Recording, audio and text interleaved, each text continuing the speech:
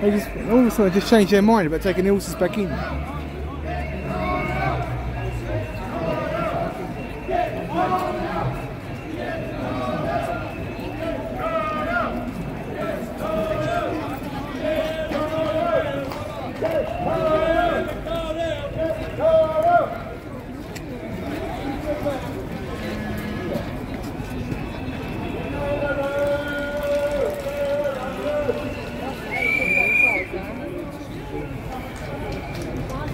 Eu, eu,